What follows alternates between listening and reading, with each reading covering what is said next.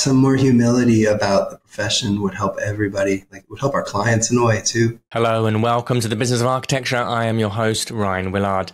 Allow me to introduce today's distinguished guest on the podcast, which is David Goodman, a luminary in the realm of architecture and education. Dr. Goodman serves as the Dean of the IE School of Architecture and Design in Madrid, where he leads a vision honed through his tenure as a director of the Bachelor in Architectural Studies and the Master in Architecture. He was educated at Harvard Graduate School of Design and Cornell University, and his own academic journey culminated in a PhD from the IE University, specializing in strategy and organizational theory.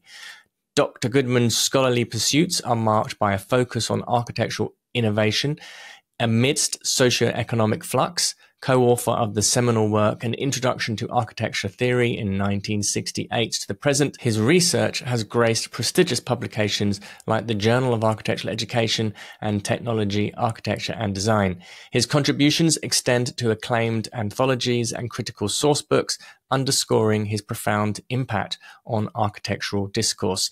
In this episode, David and I talk about the absence of business education inside of architecture and we look at different ways that architectural schools can be accommodating of that and creating a different and more informed context of reality when training design. We look at the power of architectural education and its potential in different fields outside of architecture. Uh, and we also discuss the future of architectural education and we look at different pathways forward. This was a really fascinating conversation. I'm a big fan of everything that they're doing at the IE University. It's one of the most switched on colleges, universities of architecture in the world. And this was a great, great pleasure to be speaking. So sit back, relax, and enjoy David Goodman. This podcast is produced by Business of Architecture, a leading business consultancy for architects and design professionals. This episode is sponsored by Smart Practice, Business of Architecture's flagship program to help you structure your firm for freedom, fulfillment, and financial profit. If you want access for our free training on how to do this, please visit smartpracticemethod.com. Or if you want to speak directly to one of our advisors about how we might be able to help you, please follow the link in the information. Hello, listeners. We hope you're enjoying our show. We love bringing you these insightful conversations, but we couldn't do it without the support of our amazing sponsors. If you're a business owner or know someone who would be an excellent fit for our audience, we'd love to hear from you. Partnering with us means your brand will reach over 40,000 engaged listeners each month. Interested in becoming a sponsor? Please send us an email at support at businessofarchitecture.com. David, welcome to the Business of Architecture. How are you? I'm great. Thanks. Thanks. Good to be here. So, very excited to be speaking with you. I've spoken obviously with your colleague Geronimo in the past. Um, you are the Dean of the IE School of Architecture and Design in Madrid. Um, you have a doctorate in business administration from the IE Business School and a master's and a master's uh, in architecture from Harvard.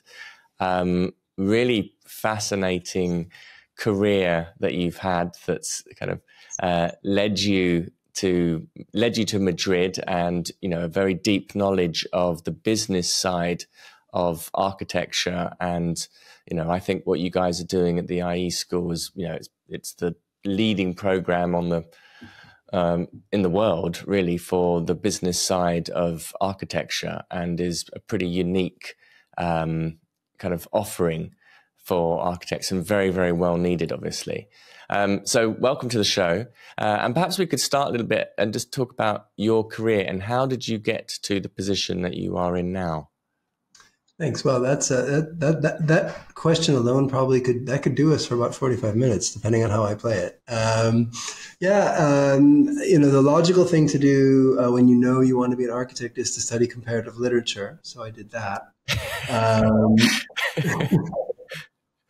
Uh, yeah, I mean, I knew, I kind of knew as a, as a little kid that, that I wanted to be an architect, but for some reason, uh, I thought I needed to do something else first, which I should say in, in the American system, uh, we have that luxury of like, you know, uh, having an undergraduate that's only marginally related to what you want to do, and then you do a master's, um, in my case, a four-year master degree. Uh, mm-hmm. So yeah, I went. I, um, I, as a little kid, I, I, sort of was drawing and knew I kind of wanted to, be an architect. But I also really like. I really wanted to be a writer. Actually, I couldn't kind of make, make up my mind. So I, I decided that um, you know I was going to be a writer, and um, I, I, actually began studying uh, literature. Uh, I moved to Spain to study um, uh, Latin American literature. Another another curious choice, uh, but but my university had a program in Spain, and it was here that I realized, what am I doing? Uh, I really want to be an architect. Uh, at that point, it was sort of too late to turn back, and I finished my undergraduate degrees. For, reasons I won't get into, I finished a degree in political science uh, rather than literature and uh, history of architecture, and then I went to to Harvard where I did a four year Master of Architecture, and I moved to Spain to practice uh, here, and then uh, eventually uh, back to my native Chicago, um, where I hadn't lived since I was a kid, actually. Mm-hmm. Uh, I, I, practiced there for a while.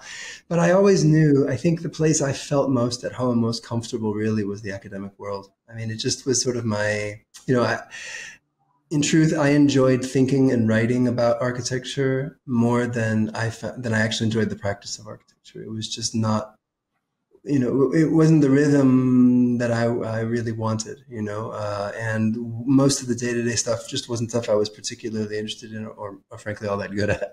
Uh, so as soon as I could, I began combining practice with teaching uh, and ultimately became full time faculty uh, at Illinois Institute of Technology. And um, while I was there, I, I, heard about this young school in Spain where I'd always, you know, I kind of wanted to come back to. And um, at that point, architecture was new at IE really. I think they had been teaching it for four years or so. And I, I had known of it as a business school uh, from when I had lived in Spain previously. I didn't know it had anything to do with architecture. And one thing led to another. And I was offered uh, the position to be the director of undergraduate studies. This is now 13 years ago. Um, and as part of that school, from the start was this program in business for, uh, at that point, business for architecture. Uh, now it's uh, Master of Business in Architecture and Design, which was, I think, kind of encapsulated this idea that like it's one thing uh, to um, to learn the discipline of architecture, uh, and it's another to practice it. And that sometimes that chasm, which I lived like painfully, most of us probably mm. have, right? Uh, going out with these like you know world changing ideas and coming face to face with a contract or coming face to face with why is the phone not ringing um, uh, and um, not really being prepared for it so all of this was happening to me. I was being offered this job during the financial meltdown, uh, 2008 it was, right? And seeing mm-hmm. so many of my friends in Chicago being laid off, you know, one morning uh, uh, in big firms there, and, and seeing what, you know, how, how, the kind of lack of resilience we had as a profession. So when I came here, I felt like we were doing really some of the right things. And, and one of the right things I thought was um, really dealing with business at the undergrad level, the graduate level, but dealing with it as, as a as a designed process. You know, I mean, you can design a practice like you design anything, uh, and you think about it. How do I get to? If this is the result I want, how do I get there?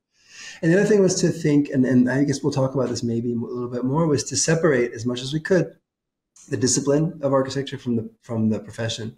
That is, we're going to teach the discipline of architecture.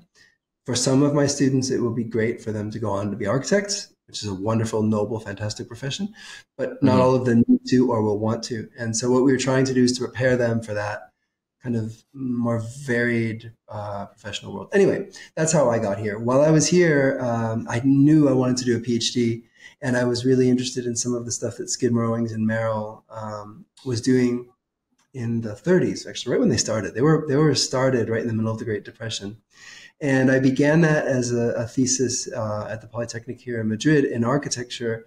But I soon realized this was actually more of a business PhD um, and had to do more with organization. And uh, so I, I, while I was uh, here, I, I, did my doctorate uh, at the business school, talking about well, two different things. One, organizations founded in, in moments that are, uh, I think the technical term is crappy. Mm-hmm. Term of art in, in really negative um, socio-political economic moments. What happens so to organizations? this is kind of SOM being founded kind of just post the great depression. Right right. I mean 37 i think it is. So you know, still in the second dip of the of the depression. Um, right that's one part of it. So we started with SOM kind of gradually, had very little to do with SOM. But then the other thing was, okay, well, um, the other thing I was interested in was, well, what do architecture firms do um, in this balance between standing out and fitting in? Right, because and, and SOM was really good at that because look at the name of that firm, like Skidmore, Owings, and Merrill. It could be McKim, Mead, and White. It could be any kind of classical uh, American firm but behind that screen of, of kind of conformity and anonymity or, or, traditional architecture, what they were doing behind it was radical, mm-hmm. radical. Um, had nothing to do with what went before. So they were at once like super normative in what they looked like from the outside, but if you knew what was going on inside, it was it was something totally different. So I thought that was super I, interesting. I, I, guess that's that's also very interesting because I you know I've got a, a very you know an interest in the, the big American firms as well and their influence on pretty much all other architecture firms that we see today. Like we look at the Fosters and the uh, and these these other behemoths that exist today, the Genslers. They all have that kind of legacy or heritage owed to the, those those early practices in the 19, 1930s of the, in the US who were who were and they who were kind of capitalizing as well on the, the, the massive shift in construction techniques and being able to operate at a scale that architects had never operated at before, really. You know, Nat Owings in his in his autobiography says something that um, to the effect that like we could do what the Gothic age did, that we could be kind of these nameless but highly trained collaborative professionals. He said, he said we could be like the Gothic Building Guild or something like this. He says uh, that was that was the the highly like you know kind of very idealistic aim. Um, and I mean, it's kind of amazing what those guys were able to do. I mean, in some sense, they were in the right place in the right time and knew the right people. But I mean, that's to, to, to whom does that not apply? Yeah. um, they were they were very smart and did some brilliant design. Had a really good eye for designers. They knew who wasn't a designer um, and they knew who was, and they, they, they looked out for that, and they set up a structure. Like they, they thought about the organization. You know, they theorized the organization, they designed the organization. It didn't just happen. And I think so many of us think, oh yeah, like that'll that'll come, like the structure will come. Like, um, no, no, uh, at least that's not how they got. So so you, you wrote this doctorate that was essentially about the, the kind of organizational structure of of SOM, and it became a, a, a doctorate in business administration. Um, and then it did start to influence your teaching. That's a good question. Oh, um, I mean, it's kind of going on in parallel. I mean, certainly, like the dissertation ended up having very little to do with SOM and much more to do with kind of architecture in Chicago at that moment uh, right. and navigating that tension between distinct distinctiveness and conformity. And mm-hmm. I would say, yeah, f- for sure, it led when we were working on the. Um, at that point, I was only involved in the architecture program. When we were developing our new master in architecture, we kind of knew. Um, so our master in architecture is is like the, the last stage that you need in Spain to become a professional licensed architect in Spain and in the EU and so it's it's obviously very much oriented to the profession. If you don't want to be a, a registered architect, don't take the master, right? I mean, that's mm-hmm. that's how more people see it. But I thought, well, no, actually, like we, you could use it for something way more interesting than that. And we embedded this business component to it, the design management module, and it only it only reaffirmed what I what I thought was the case when I when I arrived here. Those two things. We've got to separate the discipline from the profession because there's so many professions that architecture prepares you to, to work in, you know? Mm-hmm. Um, and we're, we're wasting in a way, not wasting, but we're like overly limiting the influence that architects can have on design culture or, or the environment broadly, broadly understood by, by just limiting it to the built environment. Second was that we don't know what we're doing when it comes to business, generally speaking, right? Mm-hmm. And so that there really is room. It's almost like it's our obligation. It's not, not a luxury, it's an obligation. And I was kind of critical of my own training. And, and to be, to be honest with you, in my professional practice class, I probably slept through most of it because I didn't place much importance on it. Um, yes. Up late working on my project, and if I stumbled in, you know, I tried to stay awake as best I could, but I was a terrible student in it. So, but that's kind of the like the, the message that's being sent to students is, is design culture first, and management to the degree that you want to get your hands dirty should only be in the service of that design. But we don't tend to like turn that design interest back on practice itself and kind of look mm-hmm. at practice, you know, and, and um, talk about.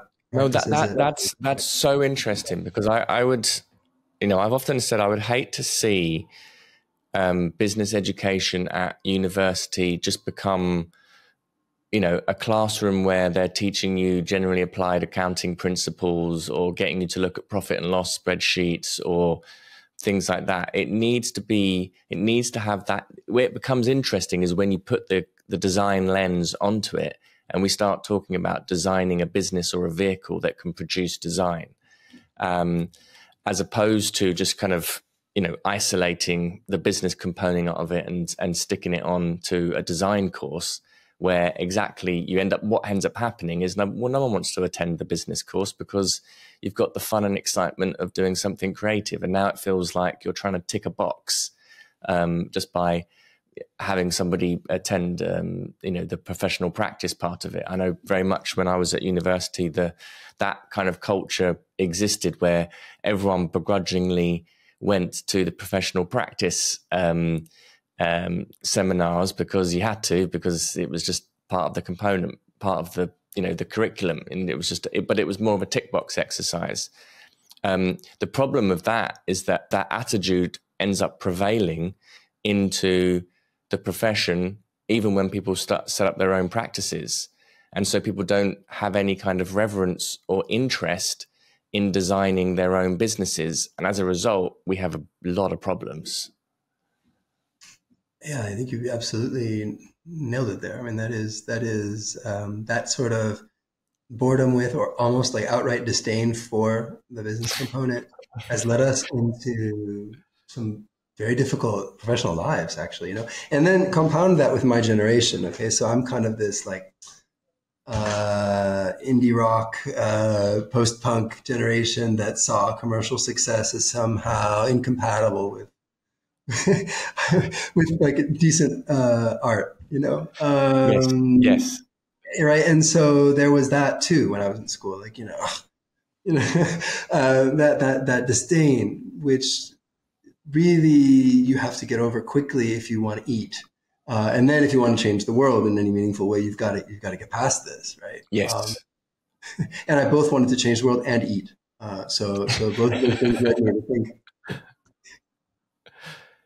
So so um, I mean, and, and again, that's that's interesting in architecture in general. When we see even design being taught, you know, I, have always found it quite interesting that uh, there's the complete removal of economic context in design school, and I've you know I, that, that's a big shame as well because it's kind of a because it, it unintentionally sets up a paradigm, if you like, that money is a constraint, or that the financial context of which architecture operates is something that we, you know, we, will take the advantage of ignoring it at university so that we can be uninhibited in our creativity.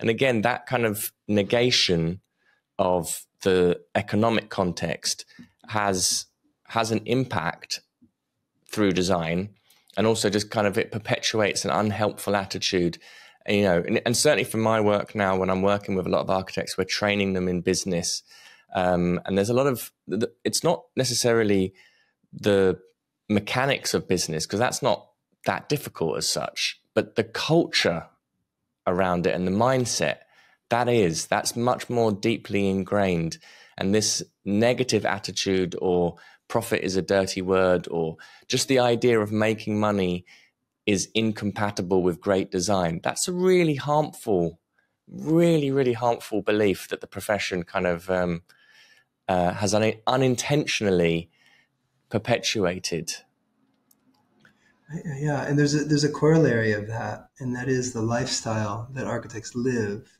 is right. based is based on free labor, our own, uh, sometimes those are interns, uh, and none of it is passed on to, or little of it.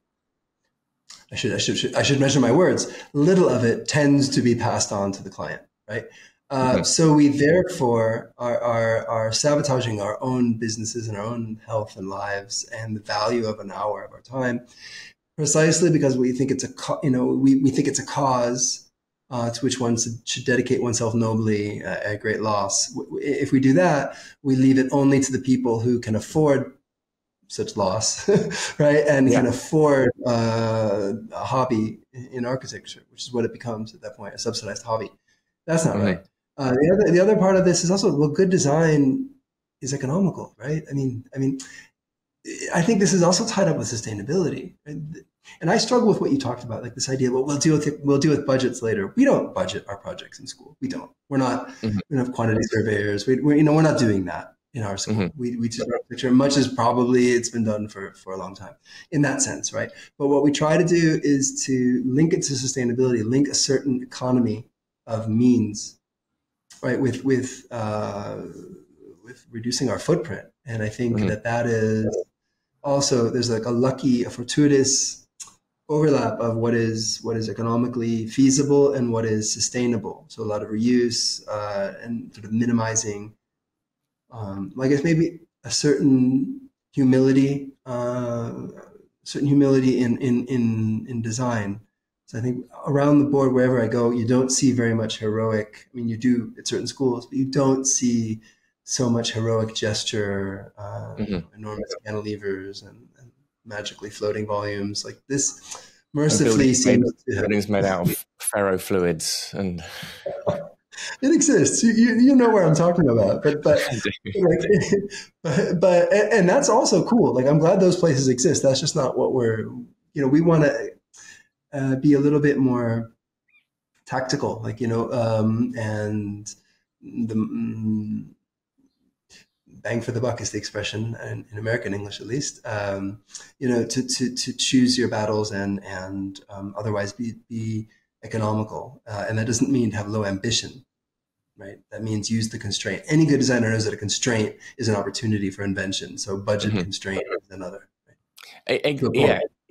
Exactly. I mean, that, that's a very interesting point. Is that you know architecture? It, you typically in design, where we're spoken, we talk about constraints or these friction points being the generators of architecture and a budget or financial consideration or a consideration of who the client is and you know how they're being funded that can actually generate an interesting set of design solutions or what you're saying here in terms of sustainability or kind of um, resilience in in materials and design or longevity that becomes a good place for creating friction, which encourages more thoughtful design and gives us something gives us something to be able to work with. H- how do you um, then with the because you, you've got the MBA degree, and then there's like a, a master's degree of architecture, so the two are, are different. Yeah, it's the MBArch, the Master of Business MBArch. Architecture. Yeah. This is typically a post-professional uh, degree. Tends to be a little, you know, um, not immediately after graduation. Um, and it's it's not only for architects. I mean, designers may take it as well, although it ends up being ninety percent uh, architecture. The the MArch is the professional master's degree. So in and in Spain, you do a five year undergraduate and then a mm-hmm. one year master, and you're licensed. So it's not like in the UK or the US where there's an internship component. Uh, no, there's no practice component, which leads us to have a slightly more practical, perhaps, uh, undergraduate education than in the UK or in, in, in the States or, or Canada, where, mm-hmm. where you have a, you have steps right after. Um, we don't. So we are the we are the final the final uh, step before licensure. So our, our master in architecture, uh, the content of that, strangely enough, um, or not strangely enough, unfortunately enough, on paper, roughly seventy percent of the content is is set by the state, right? Because it's licensing. So they say, okay, you must know X, Y, Z. Um, but they say you have a little margin. Uh, you have methodology. We've been super innovative in, in how we do it. We work with Ben Van Berkel, uh, UN Studio, super entrepreneurial architect. Um, we, we integrate sustainability in, in, in, the first term, especially. Um, and we take our students to Amsterdam. They work on real projects with UN Studio. Um, and um, but the real um, say content innovation was to add the design management module. So our students mm-hmm. get a class in strategic management for architects project management um, and uh, creativity and organization, which is one that I really like because it's that's the one where we're saying, okay, you know, apply your creativity to thinking about organization design. And um, you know, I think some students are sort of um, puzzled by this, and, and most of them, from my experience, are, are super excited about the chance to think about it uh, in those terms, like as, as a creative pursuit. Mm-hmm. Uh, so that's our master in architecture. They're both one year programs. Great, amazing, amazing. I've I've spoken with um, some of your past students of the uh, the MBArch before. Um, Tosin was on the show not so long ago. Um, we had a good conversation about some of her insights and things that she that she learnt. So it, we were we were last time we spoke. We we were talking about this idea of institutional theory. Yeah. Um, um, could you talk a little bit about that? What what does that mean, and how does that relate here in terms of the the kind of business side of architecture? Great, yeah, I'd be happy to. Um, so, institutional theory is a very important theoretical framework uh, in the study of organizations and sociology. At, at, at, at, its base, institutional theory says that we're actually not as free when we design our organizations. We're not as free as we might wish, or we're not as free as we might think, that there is to a degree what they call external control of our organizations. That is, we have to fit in. Mm-hmm. That not fitting in has great penalties. Let's say, um, on the most basic level, in, in regulatory terms, well, you have to have a license. You can't just say, "Hey, I'm an architect," because I, I watched The Fountainhead you know, uh, I, I watched the Netflix series. I know you can't do that, right? So then the state will come and and and carry you off to to, to an uncomfortable place if you do that. Um, that's like the most basic level. So there's regulatory conformity. No, we all must be licensed. We must go to a certain school. Those schools are also mm, constrained, right, by the state or whatever regulatory authority there might be, right? That's the kind of easiest to understand. Then there is uh, competitive uh, conformity. Hmm, everybody else is doing this. If I don't say, for example, in the time of Skidmore, Owings and Merrill, okay, it was almost unheard of. And, I, and in my, my dissertation, I saw in the population of architects at the time that Skidmore, Owings and Merrill were founded, there were about 500 firms in the Chicago area. Something like 499 of them uh, used the last names of the, the principals or the last mm-hmm. name of the principal. Sounds like a silly thing, right? Of course, you know, David Goodman, architect. Um, uh, had they chosen to call themselves, you know, Building Solutions Incorporated, or or or I don't know, uh, Studio uh, uh, Bow Wow, Atelier Bow Wow. Uh, had they decided to do that in 1937, they probably wouldn't have gotten any clients whatsoever. Certainly not the U.S. military. Okay, so um, there's a certain amount of conformity, even if it's not conscious. Conscious. If you are in a certain stream of let's say avant-garde architecture firms and you call yourselves you know uh, uh, david goodman architect llc um, that's not likely to make you sound as sexy as choose any any noun any you know uh, salad fork studio. Salad fork studio is a more convincing name nowadays. Like you know like any noun that has nothing to do with architecture that could be the name of your firm. And it's pretty normal yeah, whatever you have in hand, that's cool. You know, uh, that, I like that, yeah. yeah, I think Salad Fork would for sure would have worked. Um, but um, soup spoon, harder to say, but but nevertheless melodious. Um, but, but um, yeah, so you can you can um, nowadays there's almost the in, the reverse pressure. If you're a cer- if you're uh, an architecture firm with a certain degree of ambition, you must put some sort of inscrutable name or, or acronym, right? There are, there, there, there are counter examples as well. But what I'm saying is that specific pressure has changed over time. Those pressures are socially constructed and mm-hmm. they're not regulatory. Um, and there are certain things that an architect would not do. Okay. Uh, I don't know if you've seen the, the, the series Better Call Saul. I have uh, seen, I've seen a few episodes of it. Okay. Well, I mean, so he begins as a respectable lawyer and explains his his path to one of those guys who advertises on late night TV.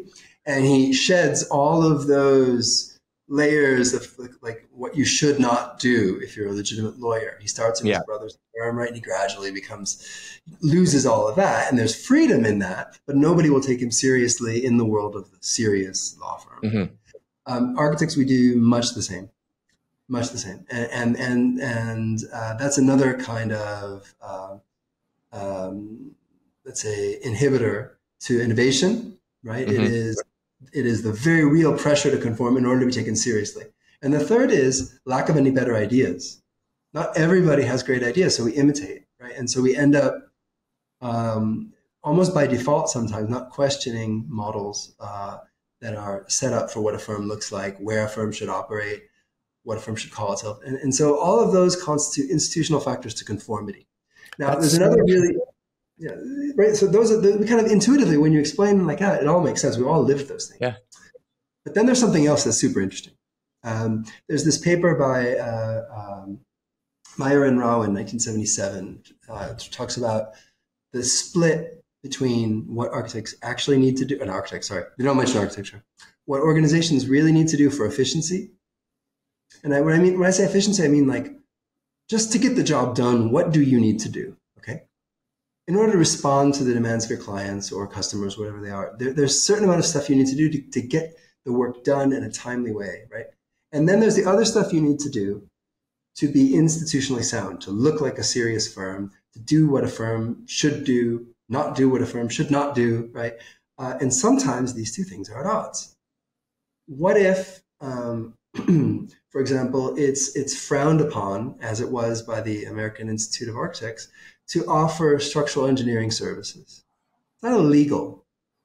Um, what if it's against the law to, uh, or or, or, not, or frowned upon by the by the by the industry to advertise your services? Or what if um, being a general contractor is uh, considered to be unethical by the professional associations, which it was in the United States, right? right. Well, then a lot of the, a lot of the things that you would want to do for efficiency. No, I want to be the GC, and I want to be the architect, but the professional association tells me that's unethical. So I have to make a decision. Either I have to not do what they're telling me not to do, or I have to do what, what in, in institutional theory is called decoupling mm-hmm. which is basically lying. I have to mm-hmm. show the world one thing and then with, at the same time be doing something else. So that decoupling is how you can conform with the image that society wants you to, to, to, to comply with while you need to, while you do the stuff you need to do. So a lot of institutional theory has to do with that tension between what I really would like to do and what I have to do.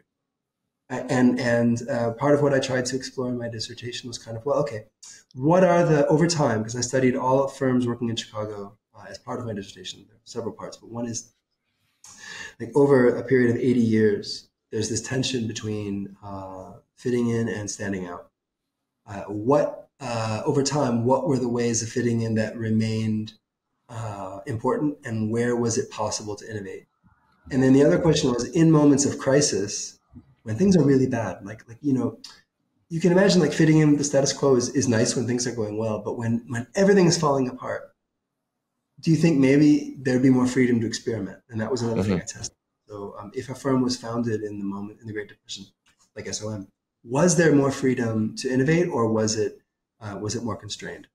Uh, I'll leave that there as a cliffhanger. well, that that's that's so interesting. Um, the the kind of constraints of the profession itself, which are kind of implied or um, you know, of you needing and wanting to to fit into your own profession, actually being an inhibitor to business innovation. Um, you know, just in the way that you might market, name yourself, the way you're structuring yourself, and there's a and this it's actually very obvious when you say it like that. Um, for why architects are very cautious with even um, um, employing an outside business consultant. So, us at Business of Architecture, we're definitely one of our advantages with the business education we've provided, and I imagine that a similar, a similar with you guys, is that well, you're architects or you're associated with an architect with architectural education and the, the design of architecture. Whereas architects traditionally have been very, very um, suspicious, if you like, of um, external consultants coming coming in and telling them how to do their their business, and they'll often confide in you know in my you know when I speak with them, they'll often say things like, "Well, yeah, but they don't understand architecture, or they don't they don't understand the profession, or we needed somebody who um, understands the the profession," and it's actually more to do with this kind of caution or concern of stepping outside of the the institution which has which so much investment has gone into becoming part of. Um, I, I, in my own practice, I recall at one point um, considering abandon, ba- abandoning the word architect. There's obviously there's, there's a lot of um, marketing strength and kind of prestige that comes with the word, but I often used to find just f- as a way of thinking, I feel really constrained calling myself an architect, and I'd like to do something very different. And as a result, never joined the RIBA or any of the professional bodies. Um, had my registration, and I know a lot of other other architects kind of feel like that. That that you know, okay, I, could, I will need to use the word architect, but any further going into the institutions, then feel like I'm being influenced in a certain in a certain way. How how would you suggest that that the profession kind of approaches this and tries to have more freedom inside of itself, more freedom to experiment? Well, that's a great um, that's a great question. Um, and, and and what you say is, is, is, it's so true. Like there's the the name itself is so charged, right? The, the architect that it often creates the most rigid kind of structure, which is a structure that's self-constructed, right? Mm-hmm. We can chafe at and complain about regulations that come from without, but when we are the ones who build uh, iron cage, right? And that's a that's a that's a, um, a, a phrase that that that um, organization theorists use that that um, to describe that kind of conformity. When we built it ourselves, then we don't even see it, right? Um, and so by by dropping off the name architect, maybe it lets us be more experimental with what it is we're really doing. And it might be for that reason that I, I, mean, I have to tell you, I think maybe half of our students go on to uh, practice architecture. Maybe half, um, maybe less. And that doesn't mean that they're not working in creative industries or, or in design or even on buildings. Um, but they, they might not think of themselves as architects because I think maybe we do we do too good a job or we do a very good job at explaining this to them. There's more. Your, your design abilities could be um, could be useful beyond uh, architecture. But but going back to architecture itself, you know, I think we also have to be realistic about what are the useful constraints and what are the ones that we've just built ourselves. Yes. Uh, right. And and which are the ones that we just never thought about, never questioned. That said, there are also things that have never been done and for good reason. Right. um, so so not everything, not every blue you know blue water uh, idea is a good one just because no one's done it before. Mm-hmm. So I think I think it, I would again apply our thinking as designers to the problem of what do like what is it that we want to do with our lives? What do you want to wake up every day and do? Because ultimately the money is, is there. The money is there. But let's let's talk first about like what do you want your Monday morning to be? Like what do you want to go to work to do every Monday morning? Because you have to design that. Or if you if you just let it happen, you find yourself, you know, 20 years down the road with a practice specializing in something you hate um, and so, no, you know, you've got to, I think, think very clearly about what it is you want to do, and then what do you do better than others, right? And, and stop calling it architecture for a while. I love that you, you you say that because you kind of have to think about it.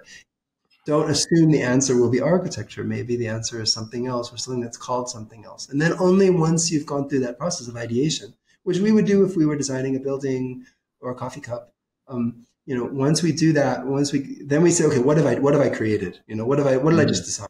Architecture firm? Is it a consulting firm? Um, am I really good at writing specifications? And is that what I want to do? Every, you know, like the, whatever it might be, you know, uh, that maybe you're not an architect.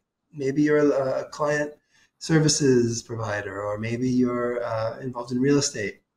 But that's because that's what you really want to be doing, and that's you know no longer architecture. I think there's freedom in it, but I, I would also hate for people who really do want to be focused on the built environment, for them to feel that they can't use the word architect, which is almost a, a sacred word. You know, it would mm-hmm. be a shame to abandon that word, but I totally see why why one would. Yeah, I find this this kind of idea of decoupling the profession from the discipline actually very interesting. And you know, the fact that you were saying there that fifty percent of your students don't go on to becoming an architect is actually actually quite quite empowering and that there's it's something quite important for us to be able to see the different trains of of of where you can go with your profession. How do you guys instill that into the into your education? This decoupling from the discipline versus the profession. Hmm. I should say I think there is um, already in the DNA of our of our institution this very entrepreneurial spirit um, as a school that's kind of born out of the business school, right? Uh, I happen to have studied there myself, but not, you know, very few of our professors have. But nevertheless, we're in this environment where it's just very entrepreneurial and thinking about, you know, what's the problem really? What is actually the problem? You know, and, and interrogating that over and over and over again. And, and that very conversation of like, well, what is it you, what are you interested in really? I mean, I know you like architecture, but like, what do you really want to be doing? I think we just have those conversations. The other is um, while we always have, they do have to design buildings. There's no way around that. It's an architecture school. we complement that with a lot of other things uh, in the architecture program. So there's a whole sequence of courses related to experimentation, which can be installation art, film. You know, we, we, we make sure that they all have uh, experiences in other creative fields. And I think it's, it sometimes opens eyes. We've got students who end up working in digital art, uh, several actually, uh, in virtual environments, kind of you know video gamey kind of things. A lot over there. Um, a lot of people in lighting design, for example. Um, so um, or, or, or fashion or, or adjacent to the fashion industry. So I think it's it's you know using this it, we, we kind of instill this idea even though here we do require them to work on buildings because we're a, a license granting institution.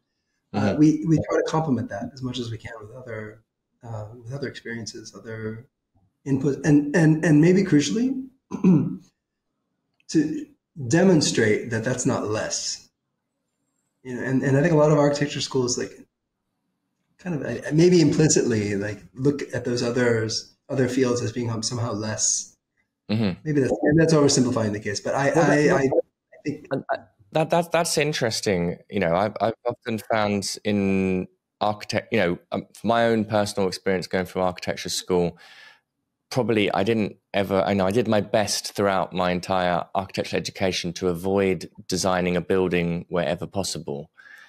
And, you know, I, I went to one of these avant garde schools in, in London and, you know, was able to have the freedom to like just avoid designing a building except when there was some part of it that needed to be RIBA accredited and, and you just design a, a concrete box and tick off all the building regs and then, you know, and then you go off designing whatever kind of um, computer coded um, performance gown that I was creating. Uh, but but, but I, I, think that that becomes interesting because the but the pathway to becoming an architect certainly um, in the UK, I always felt you were on this track and you could play, but it was like a very strong calling to become an architect, and part of it was the snobbiness of it, where it was kind of like, yeah, you, I could do these other this other stuff, but now I've I've said I'm going to become an architect, and being the architect that's the that's the real thing. Um, and and, and it, it might it, and it and it kind of begs the question as well. Then that if you've got a design degree or an architectural degree that can be used for so many different things, why even why even call it architecture? Um, and what would happen? What would happen if you totally pulled it out of architecture, and then architecture became something that you know to be a practicing architect, you did it solely inside of a professional tract, hmm. and there's problems with that as well. But I'm interested to hear your sort of thoughts on. Yeah, that's interesting. I mean, I look, I, I would, I would, I would fight that totally, and I don't think it's at all contradictory with what I was saying earlier. I would fight mm-hmm. that because I believe that it's a, it's an ancient, beautiful, all-consuming, broad, engaging discipline, right? And that discipline is called architecture. Mm-hmm. Um, I think uh, it, it, it, deserves defending, right? And, and deserves handing down to other generations. I really do think so. I think we have to be custodians of that discipline mm-hmm. and not lose sight of it because it's it's precisely what is specific about the discipline of architecture that makes it so valuable as a training for so many things. All I'm saying is it's such a good training. Um, it teaches so many things, you know, um, both analytical, creative, teamwork, communication skills, graphic skills.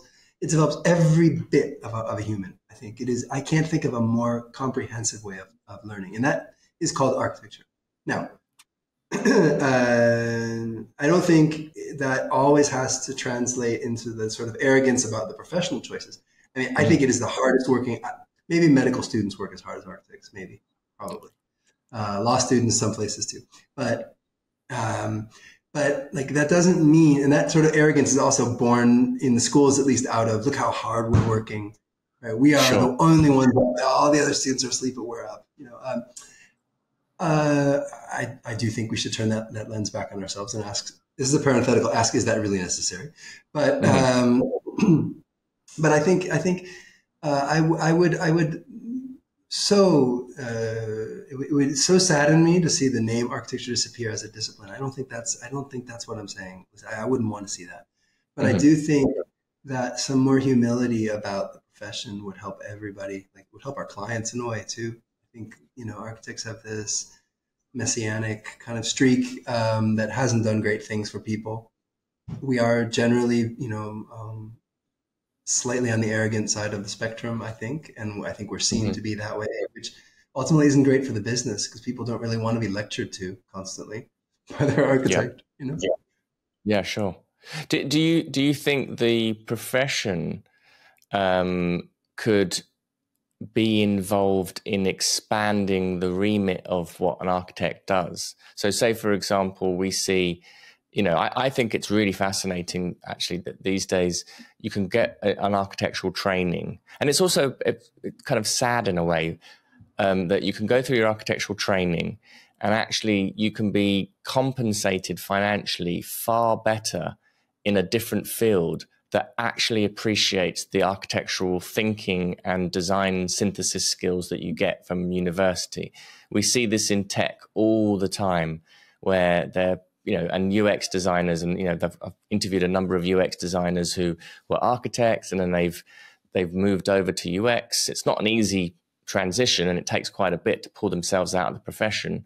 Um, but then within a few years, the salaries are unfathomably more rewarding than what they would be getting in the architectural uh, space. And in many ways, I often think that architectural, traditional architectural practice doesn't utilize the skills and these kind of creative synthesis skills that are, is so wonderful about architectural education. And it's almost like leaving it on the table. And I often think, is, is there space there for the profession to even expand what an architect does, particularly as we're kind of moving into this world of virtual and digital spaces. Um, and we're living more and more of our lives online. And there's this kind of organizational discipline that the architect is so good at being able to, you know, bring in. What what what were your your thoughts on on that? Well, you make a great point that the profession has a choice to make in the face of this challenge, right? And will it mm-hmm. have this, just as they did in the in the say, 1930s in the states. Um, if you trace the um, the AIA bylaws, or the AIA recommendations for, for professional professional conduct, they gradually came to accept practice that included general contracting, structural engineering, right? Um, and they so the, the, the the attitude of the profession was to embrace the change or accept it at least. And I think now the question is, what would the professional organizations do excuse me. question is, what will the professional organizations do in the face of these new challenges, which could seem, you know, like architecture is dissolving into um, UX design, video game design, virtual environment design. I think that's great. I mean, uh, I think it's great that architecture touch those things. Um, I think if we don't do it, we are condemned to be a metaphor for other things. Architecture. I mean, if you mm-hmm. do a Google, a Google uh, Scholar search for articles published on architecture. I think you have to go like down to like the 200 to get beyond information technology articles or or, meta, or, or gen- genetics articles where architecture is just a metaphor for other mm-hmm. things. Mm-hmm. So if we don't understand that no information architecture, actually, maybe we can bring something to that field. um, yes. Organization design. This is part of what I was trying to do. Well, what if a, what if you know we bring a design approach to organization design? Um, so I, I, think if the if the profession, like the profession, and then the professional organizations, to the degree that they're they're influential in this matter, I'm not sure they are, but to the degree that a profession sees, no, I'm an architect, and I my field is buildings. Well, I'm an architect, and my field is uh, data. Um, I, I, think I think that to me is um, is could be freeing and, and very interesting. I, I, think I hope the profession accepts these things as legitimate um, ways of practice. Otherwise, people will always have the thing: I have to leave my field to do what I what I you know mm. uh, to do what I what I like. Imagine if if you ever worked in hospitals. I never have. Okay, from what I understand, it's like a different world altogether. You know, yeah. it's just it's a different kind of practice. um, nevertheless, we call it architecture right? Specializing in hospitals, um, probably utterly unlike uh, a two-person practice working on houses. Right? There must be almost nothing in common. Um, mm-hmm. So, what would be the so so different? Let's say, well, I'm working in virtual spaces, you know, in the metaverse or whatever it is we call it. I don't think it's so different. I think it's probably closer in many ways to the, the two person office built doing houses uh, than the international hospital firm. Mm-hmm. Yeah. I, th- I think it's a really interesting. It's an interesting opportunity for lots of the institutional governing bodies of architecture to to kind of potentially capitalize on, or as opposed to being reactive to, uh, a kind of proactive approach of where the what the future of the of what the profession could be. Um, you know, I think that opens up a lot of a lot more opportunities and a lot more freedom, a lot more freedom. Do you see this in the firms you work with? Uh, desire to kind of uh, push the, the the limits of what is architecture practice? Not not with the not necessarily with the firms that we work with. I mean, the, the, typically the firms we work with are traditional architectural practices. Um, what we do see with them is them introducing different services which are kind of traditionally architectural related. So you know we've got loads of clients who build out an interior design firm or they build out a, a contracting firm or they become developers themselves and that's another thing i'm a big kind of advocate for because you know becoming the developer yourself um, you know that that's where you get to you know you're the one now directing the creativity and what you want to build and it encompasses you know a solid understanding of business and economics and raising finance, and that gives a lot of a lot of freedom. Um, typically, I see a lot of students who I will speak with on a more informal basis who are looking to who are frustrated in the profession um, and then start looking around at you know where do they where do they want to go how do they want to to practice architecture and then this leads them to um, moving into different fields. I don't know if you've come across of Out of Architecture with um, Jake and Erin. So they're a mm-hmm. consulting agency in the US, and they actually specialize in helping take people out of architecture and locate them into other professions. Um, you know, and their their own stories are really interesting because I think Jake um, he now works at Adidas um, and found you know he was using all of his 3D design skills in making new trainers and renders and you know just economically it made so much more sense to be using those skills inside of you know a, a creative company like this. I, I do speak on the on the podcast a, a lot of practices who you know have moved into the world of say brand experience, which is a kind of you know, that's an architectural interpretation of branding. And I think that's very interesting and placemaking. So we start to see these kind of periphery um, um, parts of the profession opening up and being very innovative and you know pushing the kind of the physical boundary of what architecture can be and starting to integrate it into um, something which is a little bit less you know confined in a in a building um, which again I think is you know is is really good. And but there's so much there's you know there's I, I think certainly younger students have got so much opportunity and are brought up in the the YouTube generation, if you like, and are very well aware of different ways of making money, of different um, ways of communicating, of marketing, of selling, um, I have a different relationship with physical space. You know, we grew up in an era where our bedrooms were these little havens of our expression of personality. And now people have social media profiles, which become the bed, you know, the equivalent of the bedroom wall. So there's a, a real sort of cultural shift that's happening. And, you know, the, the future of architecture is kind of, I think it's, it's, it's, it's interwoven into that. I think um, there's a different entrepreneur, different relationship with entrepreneur uh, entrepreneurship nowadays than there was when when I was in school. Certainly, yeah. for sure, right? Because I think that ethic of like, well, don't be too successful. Um, you know, you wouldn't want to sell out, right? Uh, this was very much, uh, as, as I mentioned before, it was like you know there all the time, and it's not there any of the time nowadays. Yeah, uh, for better and worse, right? A little of that, a little of that wouldn't hurt. Um, I'm showing my age, but but certainly like younger generations have this kind of like you know entrepreneurial spirit from the start. They can sell. Uh, they don't see it as in any way in contradiction with artistic aspirations, which they've got clearly, mm-hmm. right? Uh, and they express it through you know kind of personal branding and and uh, influence. Exactly. They got that. They've got that. Like that's their in their DNA. Most of them, I see. Um, I think then then they're even like further self-selecting the ones that come to our school because they know we're, we're, we're kind of in this businessy environment. Like they're already a little bit, maybe even more like this. But I think it's generational. I see it with my with my daughter. You know, mm-hmm. um, so. Yeah.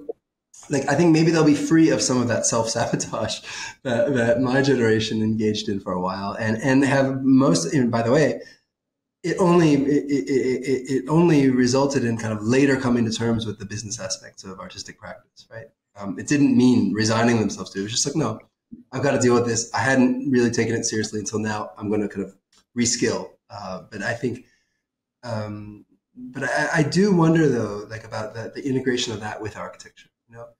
Uh, it's going to be interesting to see as we make this leap into you know AI powered practice. What is it that we refuse to let go of? Right? I mean, the, mm-hmm. because some things we will no longer be doing. It's just inevitable. Some things just as we no longer have departments of, of draftsmen or drafts, you know, uh, we will, there will be people who aren't doing things in architecture firms anymore. But it will be interesting is what we define as being the essential human uh, human element of architecture, and then other other other areas of work will open up. I think this is a good opportunity to have that conversation. Where are the, yeah. the limits of practice? No, absolutely, and you know you bring up there the the kind of AI revolution that we're kind of entering into. You had someone like Sam Altman, um, you know, recently saying that they're in the future we are not far we're not far off having a one person billion dollar annual revenue company, which is uh, that's just it's insane. It's insane to think that that's that that's the future that we're stepping into. And what does that mean for an architecture practice? I mean, in that context, you know, there's so much drudgery in architecture that could be replaced, which actually means, I think, that the architect can step back into this synthesizer role and the one who's able to look around and, you know, create and join ideas together and be a, a be more of a, a curatorial position. Um, you know, technology can can relinquish and free up the the architect a lot. You know, architecture is a funny business model where you often have very highly trained people doing basic, very basic tasks, oh, yeah. and that makes it very, very inefficient. And there's the freedom of of um, AI to replace a lot of that. I know we're seeing AI at the moment involved in lots of creative things, which is kind of you know that's where it's getting its kind of marketing push, if you like. But but really, from a practical sense, we want to hold that creative thinking to us, and AI can, can do a lot of the decision make decision making things and um, regulatory processes inside of a practice that take up so much time and are very repetitive. I think had we had AI, so much of the, the thing that I, that I mentioned at the start, like what I didn't really enjoy about practice, mm-hmm you know, for I'm sure many of the many of the people who are watching the podcast can relate. For about you know a year and a half, two years, uh, I remember I was working on a large project where every morning my job was pick up a, a like a, a, a, crate of samples, you know, of submittals to make sure that you know which which the contractor was sending us to verify that they were what we had specified, which I had to sign, stamp, inspect, and, and this was you know a, a, a, menial task above all menial, menial tasks, which involved me stamping them, folding them, sending them back, you know, in the mail. Um, I, I, actually contributed nothing to the project. All of my training, all of my my ability contributed nothing.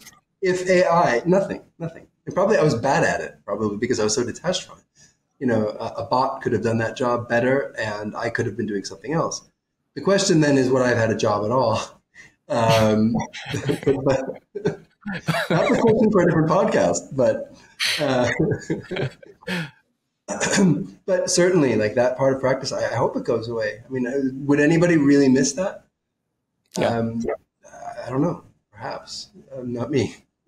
Yeah, no, that's that's very interesting. Well, I think that's the perfect place for us to conclude the conversation here. We've got, I, I, I sense that there's many more hours that we could be we could be talking. Um, but thank you very much. I very much enjoyed um, speaking with you. Very insightful, um, and you know, um, th- thank you again. Thank you for having me. And that's a wrap. And one more thing if you haven't already, please do head on over to iTunes or Spotify and leave us a review. We'd love to read your name out here on the show and we'd love to get your feedback. And we'd love to hear what it is that you'd like to see more of and what you love about the show already. This episode is sponsored by Smart Practice, Business of Architecture's flagship program to help you structure your firm for freedom, fulfillment, and financial profit. If you want access for our free training on how to do this, please visit smartpracticemethod.com. Or if you want to speak directly to one of our advisors about how we might be able to help you, please follow the link in the information. Hello, listeners. We hope you're enjoying our show. We love bringing you these insightful conversations, but we couldn't do it without the support of our amazing sponsors. If you're a business owner or know someone who would be an excellent fit for our audience, we'd love to hear from you. Partnering with us means your brand will reach over 40,000 engaged listeners each month. Interested in becoming a sponsor?